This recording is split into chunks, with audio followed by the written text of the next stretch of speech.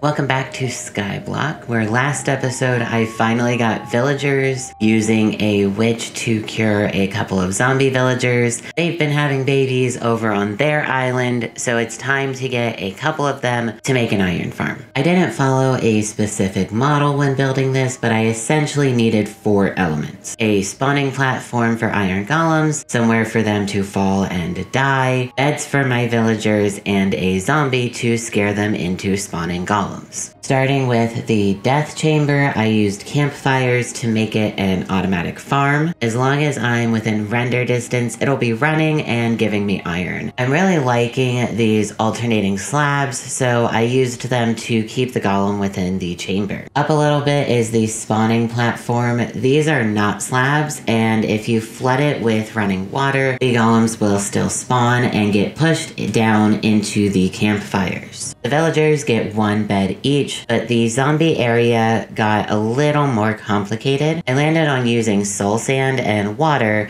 to keep the zombie bobbing in and out of the villager's view. The hard part of this project is getting everybody in place. The villagers moved pretty easily using beds to lure them at night. Essentially, you can guide their pathing by only having one bed available to them when their AI wants them to sleep. The zombie was a lot harder by trying to get one from my mob spawner, but the creepers kept blowing up. And then when I was able to get one into place, the villagers spawned an iron golem on my path and it killed the zombie. It took a couple tries to get a zombie in place, but eventually I managed. After collecting enough iron to make some hoppers for this farm, I went AFK and yeah, so we're at a little of almost two stacks of iron.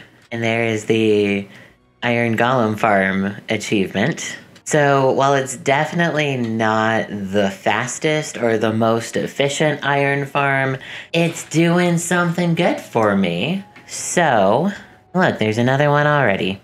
I would like to end this episode by finally fixing this. So, essentially, I need 11. 11 chests. I might be a little short on wood. There are now 11 chests in my inventory. We want some carpets. And then nine of these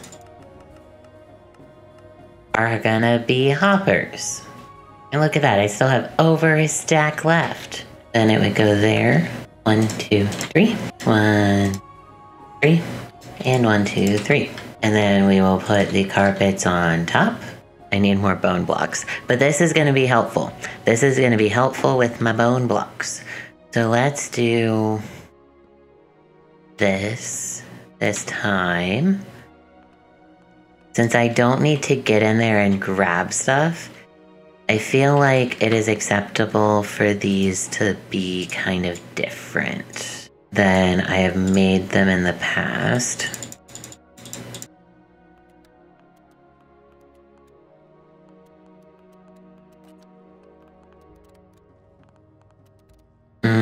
Maybe strip them. Yeah, that's better. That is much better. And since we have this much iron left, let's go ahead and try to be as safe as I can for now, just in case something does go wrong. Now that, I feel like is looking better.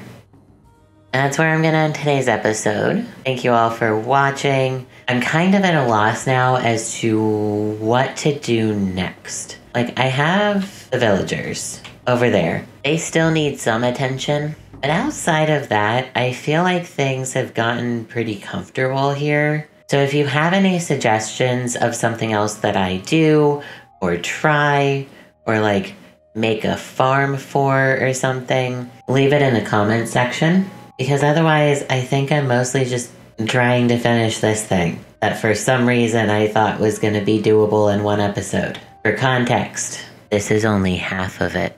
And with that, I will see you all next time. Bye.